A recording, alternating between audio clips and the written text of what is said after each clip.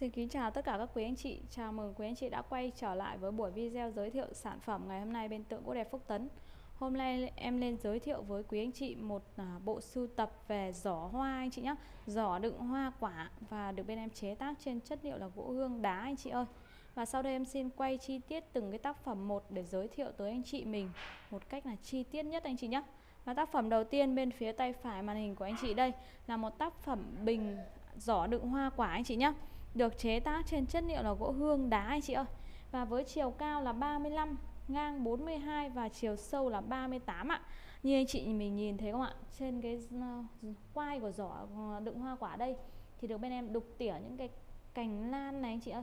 À cành hoa mai nhé anh chị nhá. Những cái cành hoa mai và những cái cành hoa lan đây trông rất là đẹp phải không ạ? Hàng đục thì cực kỳ là tỉ mỉ luôn anh chị nhá. Từ những cái cánh hoa lan thôi thì được người thợ bên em là di sần hoàn toàn đấy anh chị ơi. Những cái cánh nan chặt tỉa rất là tròn rất là đều đặn anh chị nhé rất là đẹp phải không ạ? Đấy, cực kỳ là đẹp luôn. Và bên đây thì có đục những cái cành hoa mai. Những cái cành hoa mai năm cánh đều chăm chắp nha anh chị nhé đều như là chia luôn đấy ạ.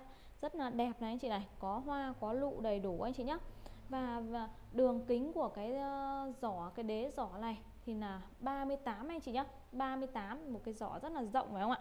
Và như anh chị mình nhìn thấy không ạ? Vân này vân nổi cuồn cuộn luôn. Một uh, phôi gỗ rất là già phải không ạ? Anh chị nhìn vào có thấy được không ạ? Rất là đẹp luôn anh chị nhá.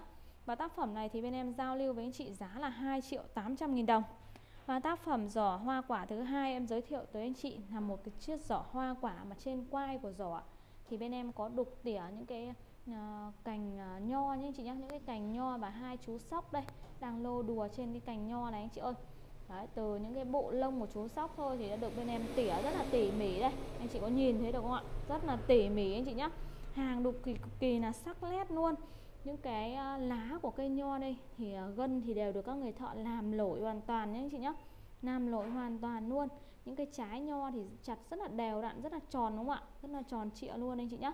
Và phía dưới à, giỏ thì à, là một cái khay đây khay với đường kính là 37 anh chị nhé và tác phẩm này với chiều cao 35 ngang 42 và đường kính phía dưới là 37 giao lưu với anh chị giá cũng chỉ có là 2 triệu 800 nghìn đồng thôi anh chị nhé và tác phẩm giỏ hoa quả thứ ba đây là một giỏ hoa quả với quai là hai cành mai anh chị nhé hai cành mai đang à, à, đối nhau đây anh chị này đối nhau đây.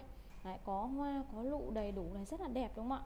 Hàng đục thì cực kỳ là kênh bong nhé anh chị nhá. Anh chị có nhìn thấy đó? em để tay vào đây để anh chị nhìn thấy này. Hàng đục thì rất là kênh bong luôn. Từ những cái bông hoa mai đây thì đều được các người thợ chặt rất là đều đúng không ạ? Rất là đẹp luôn này anh chị này.